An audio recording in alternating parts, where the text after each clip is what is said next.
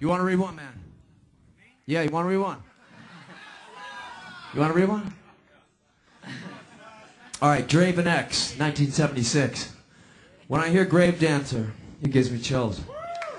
I picture my own grave and my wife dancing slowly on top of it, as if to be having one last dance with my soul. I'm sure that's not what the song is about, but that's just the vision I've gotten since I first heard it. Can you please play it for me? Certainly, that's actually a very poetic vision. Um, and uh, very beautiful one.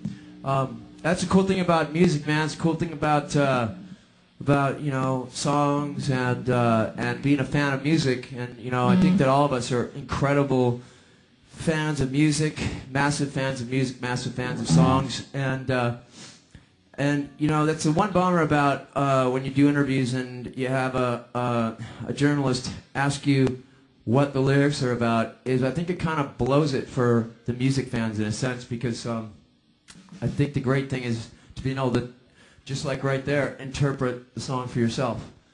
Um, sometimes you don't want uh, the person who wrote the lyrics to sort of kind of ruin it for you and and uh, well basically there it is for you right there. So yeah, we'll play it for you.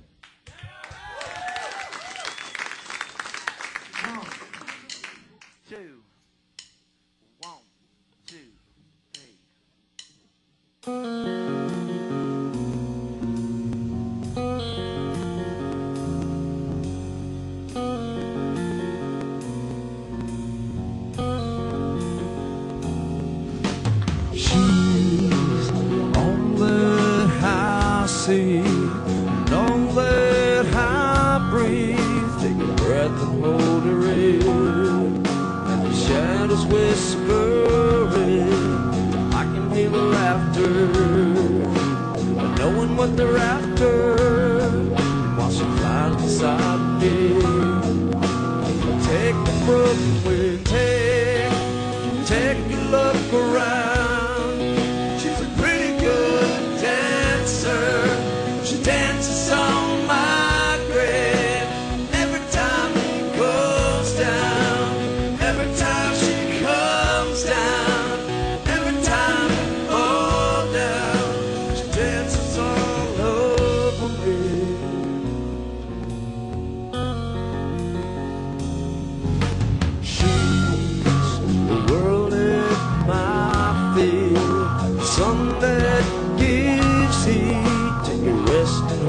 near.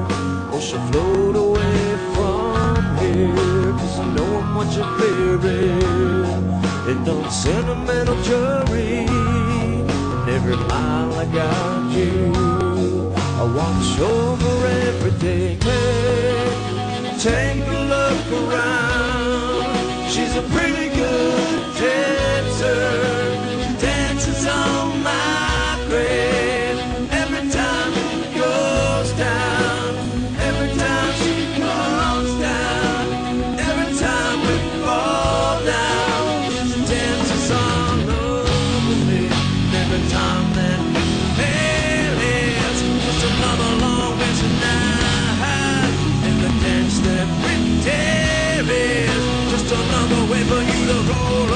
over